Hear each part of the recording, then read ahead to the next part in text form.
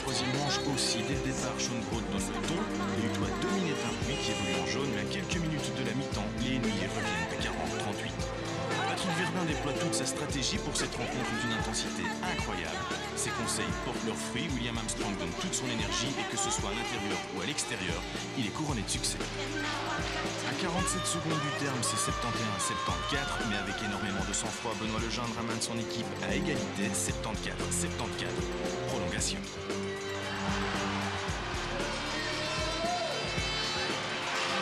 Schoenbrot réclame le soutien de son équipe. L'ambiance est à son comble. C'est Armstrong qui ouvre les débats. Côté Utois, Guerre, Julie et Smith descendent pour 5 fautes. Le jeune est blessé, mais malgré ce bilan catastrophique, Ouimin 90-88 à quelques secondes du buzzer. Mais un 3 points de Moukeba ruine tous les espoirs de l'Union Utoise. Pour État, c'est la victoire.